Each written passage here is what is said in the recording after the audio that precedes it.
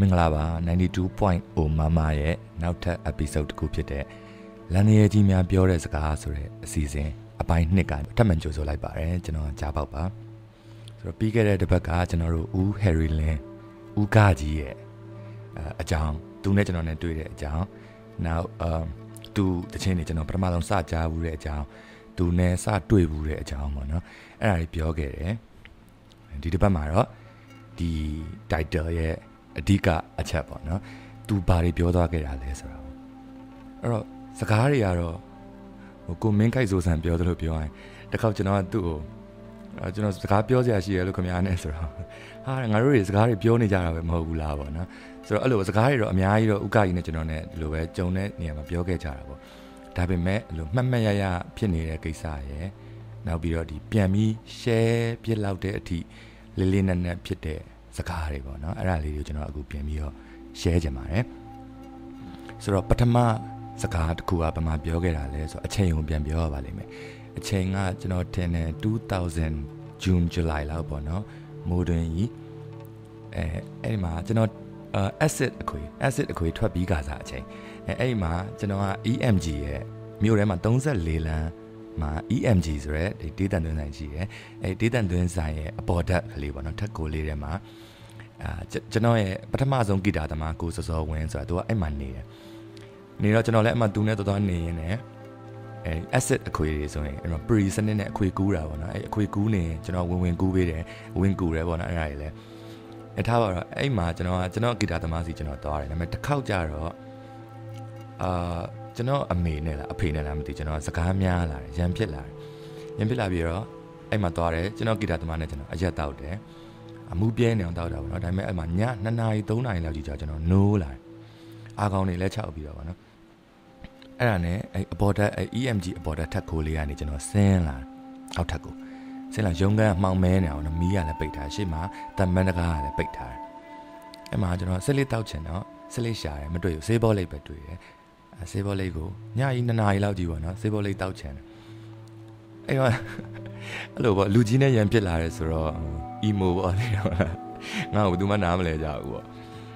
အဲတယောက်တည်းအဲ့လိုကြေကွဲနေတာပေါ့နော်အဲ့ဒါအဲခုနကပြောတဲ့ဆေးဘောလိပ်ကိုပါစက်မှာကိုက်လိုက်တယ်အဲမီးညိတယ်အဲ့အချိန်မှာမီးညိပြီးကျွန်တော်တစ်ဖွာနှစ်ဖွာလောက်အဲရှိုက်ပြီးတဲ့အချိန်မှာကြားပါဦးတကားဖွင့်မိတယ်နောက်ကနေအဲ့လိုအတန်နဲ့ကြီးတန်ထွက်လာ ကျွန်တော်လေခေါင်းကြီးတစ်ခုလုံးအဲ့လိုခေါင်းကနှစ်ဆသုံးဆလောက်ကြီးသွားတယ်စပင်းတွေလည်းထောင်တော့ညကြီးဗျနှစ်နာရီဘသူကအဲ့လိုမျိုးကိုယ်စကားလာပြောမယ်လို့မျှော်လင့်ပါလေတည်ရမှာမှောင်ကြီးတွေကနေအတန်ထွက်လာလှည့်ကြည့်တော့အဲ့လာရောင်အောင်ပါအဲ့လိုမျက်မှန်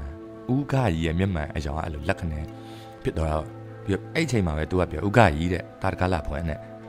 ဆိုတော့လာပြီလာပြီဦးဆိုပြီးကျွန်တော်အဲ့စေပေါ်လိုက်ကန်ရက်နဲ့ပဲသွားတယ်ဒါပေမဲ့စိတ်ထဲမှာတော့ဟာစောက်ပြဿနာတော့တက်ပြီပေါ့နော်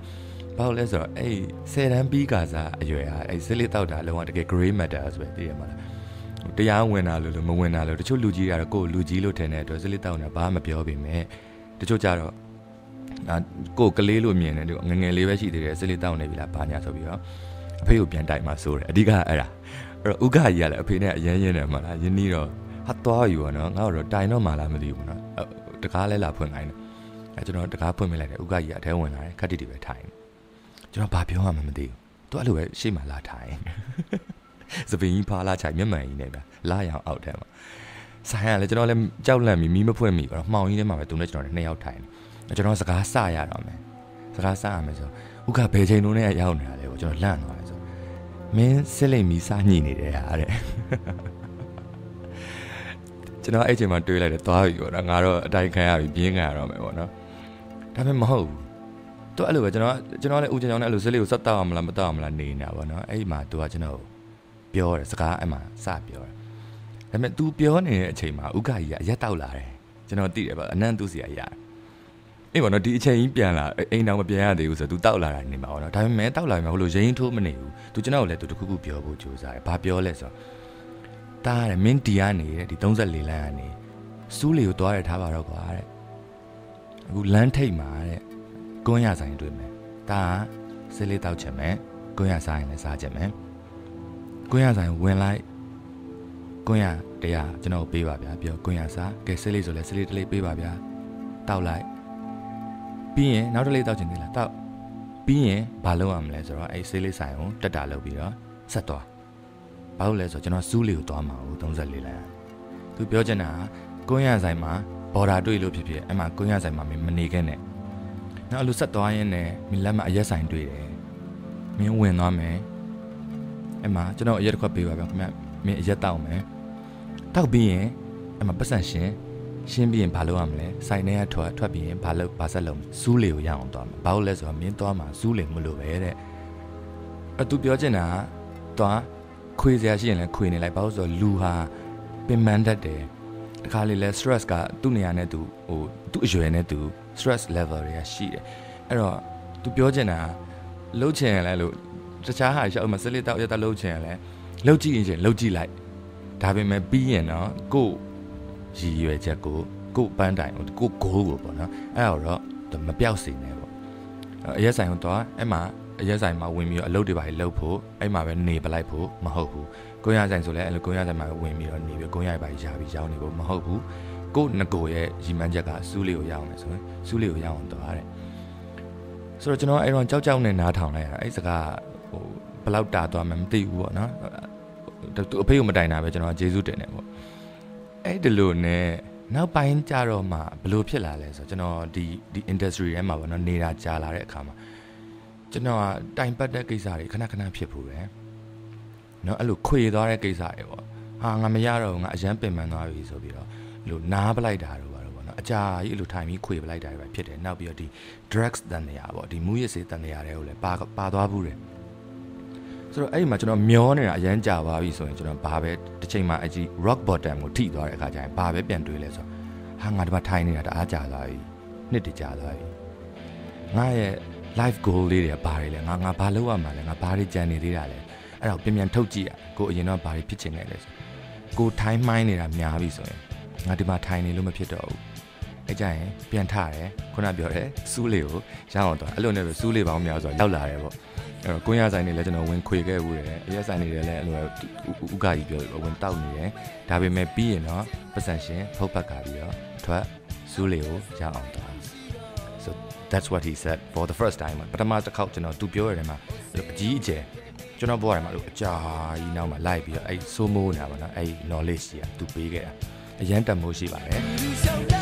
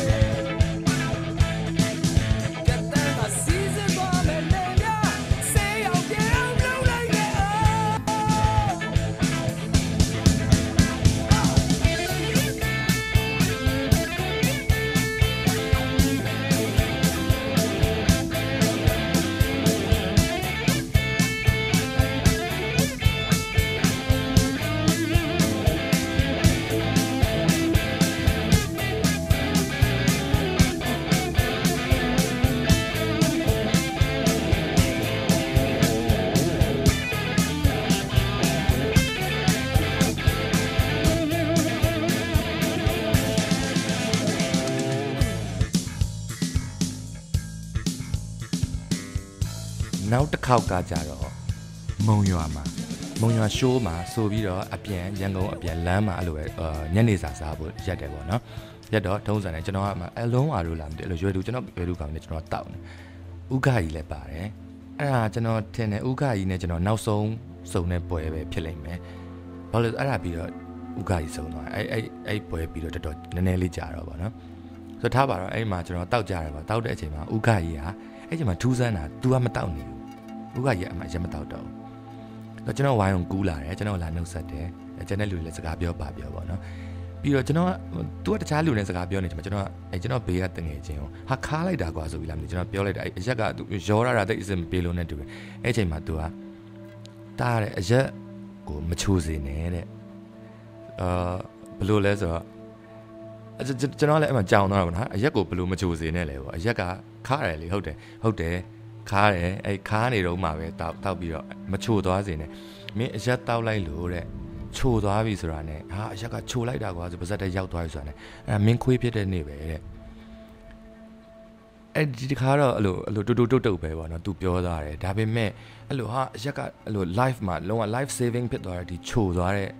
အခါတွေပေါ့နော်အဲ့လိုမျိုးတွေကြာရင်ကိုကြောက်သွားတာဟာငါအဲ့လောက်တော့ desperate ဖြစ်နေပြီလားပေါ့နော်ဆိုတော့ဥက္ကကြီးပြောခဲ့တာ ဒါအဲ့နှစ်ခုอ่ะကျွန်တော်အတွက်ကောအခုကျွန်တော်ပြန်ပြောပြတဲ့အခါပေါ့နော်အခုနားထောင်ရတဲ့လူတွေအတွက်ကောတွေးစရာလေးတစားနှစ်စားရမယ်ထင်တယ်ဒါပေမဲ့ရည်ရတာတကူကအဲ့ပြောသွားတဲ့အချိန်မှာဥက္ကကြီးတို့မဟုတ်ကျွန်တော်ကအရက်တောက်ထားတာဖြစ်နေတာပေါ့နော်ဒီ conversation အဲ့တော့ဘလောက်အတိမ်အနက်လေးလေးနက်နက်အာစဉ်းစားကြင်လဲစဉ်းစားတင်လဲဆိုတော့ကိုကိုပဲအာဆုံးဖြတ်ပေါ့နော်ကျွန်တော်ကတော့ဒီတိုင်းဟိုသူ့ကိုသူ့နဲ့ပတ်သက်ပြီးကျွန်တော်အရင်မှတ်မိနေတဲ့စကားနှစ်ခုကိုကျွန်တော်ပြန်ပြီးတော့လက်ဆောင်ပေးတဲ့သဘောပေါ့ အဲနောက်တစ်ခုအပိုလေးပြောချင်တာဥက္ကကြီးရဲ့ဒီ behavior ပေါ့နော်ကျွန်တော် podcast ကိုဇက်သိန်းတဲ့အနေနဲ့ဘလို့နောက်နောက်ထပ် behavior တစ်ခုပေါ့ဘာဘလို့လဲဆိုတော့တကြံတစ်ခုမှာအဲ့တော့ကျွန်တော်အဆိုရအောင်ပြစ်တယ်ရှစ်တန်းလားအဲ့လောက်ပဲရှိအောင်ပါပေါ့အဖေတို့ဆိုနေတဲ့အချိန်မှာမန်တက်ပေါ်မြင်နေရတာပေါ့နော်ဥက္ကကြီးရဲ့အဲ့တေးကြီးဆရာကြီးတရားရဲ့အဲ့မန်တက်အောက်အဲ့ရေပတ်နေတဲ့အောက်မှာသူကမတ်တက်ရက်ကျွန်တော်တို့ရှူပေါက်နေနေတူတယ်နော်အဲ့ဒီအချိန်မှာဟိုဘက်ရေပတ်ခံကားပေါ်က ဘဲနှစ်ပွေကအဲ့လိုဥက္ကကြီးကိုလက်ညှိုးထိုးပြပြီးတကောင်ကပြောနေဟာဟိုမှာကားပေါ့နော်အဲဘေးမှာလည်းဘသူဘသူပေါ့လာတော့စားမယ်ဆိုပြီးတော့သူတို့အဲ့လိုစားဖို့ဗျာလက်ဝါးချင်းရိုက်ပြီးတော့သွားပြီးတော့တက်မလားဟာဘာညာဘာပြက်လဲညာပြက်တယ်လို့တော့စားဖို့ပေါ့အုံနောက်စားဖို့ပေါ့နော်ကျွန်တော်ထင်တာတော့အဲ့လိုပြောရထင်ပါတယ်ကားဘောခုံစင်းလာပြီးဒိုးလဲဒိုးသွားရောဟိုလဲရောက်တော့ तू ကဘာမှမပြောရသေးကိုကားဆိုပြီးတော့သွားဥကားကြီးစီကိုလို့ပြေးသွားလက်ကြီးကိုဆက်ပြီးတော့အဲ့ချိန်မှာဥကားကြီးကသူ့ကိုအဲ့လိုဖမ်းဆွဲလိုက်ပြီးတော့နှကန်းကို kiss လုပ်ပလိုက်တယ် French kiss နော် အကြာကြီးပဲအဆိုင်ရောသူစောင့်တွန်းလွတ်လိုက်တယ်အဲ့ဘယ်ကိုသူလှုပ်စီလှုပ်လှုပ်ချင်တိုင်းလှုပ်ပြီးတော့သူစောင့်တွန်းဘယ်ကိုစောင့်တွန်းလဲဆိုတော့ခိုးဘက်ကအဲ့တေးရေးဆရာစီကိုသူစောင့်တွန်းလိုက်တယ်အမှအဲ့တေးရေးဆရာအဲ့သူ့စီကိုအဲ့လိုတပတ်လဲပြီးရောက်လာတယ်ခုနစားပဲစားမယ်ဆိုရယ်ဘဲကိုအဲ့လိုအဲ့လိုဖမ်းချုပ်လိုက်ပြီးတော့မျက်နာကြီးကိုရှာနဲ့ရပ်ပလိုက်တယ်အချိန်ပေါင်းများစွာအဲ့မှာဟိုဘဲကလုံးဝအဲ့လိုမျက်နာသွေးဆုပ်သွားပြီးတော့လုံးဝတင်မှာမကောင်းဆိုးပါးတွေတွေ့လိုက်ရတယ်လို့ ဖြူပြပြီးတော့အဲ့လိုသူ့ကားပေါ်သူပြန်တက်သွားတယ်အဲ့လိုအရှိန်နဲ့မောင်းထွက်သွားတယ်ပေါ့နော်အဲ့ဒါလည်းကျွန်တော်ပွားမှာ fucking weird ဒါပေမဲ့တင်မှာရေလလန်းတဲ့ဆန်နဲ့လောက်ရလို့ထင်တယ်ပါသလားအဲ့တော့သဘောလဲကြားတယ်အဲ့တော့အခုမနော်ဒါကျွန်တော် plot ထဲမှာမပါဘူးပြောဖို့ကျွန်တော်ကြုံရင်းနဲ့အခုမျက်စိထဲမှာမြင်လာတော့မပြောရရင်မနေနိုင်ဘူးအဲ့ဒါပြောမိတယ်ပေါ့နော်ဆိုတော့ကျွန်တော်ရဲ့ဒီလန်သေးကြီးများပြောတဲ့စကားအပိုင်းနှစ်ဦးဟယ်ရီလင်းရဲ့ အဲဒီ episode ကိုကျွန်တော်ဒီမှာရှင်းနာကြပါတယ်ကျွန်တော် episode လေးပြန်နားထောင်မိတာလည်းကျေးဇူးအများကြီးတင်ပါတယ်နောက်တစ်ပတ်မှာကျွန်တော်တို့ပြန်တွေးချင်တွေးပါမယ်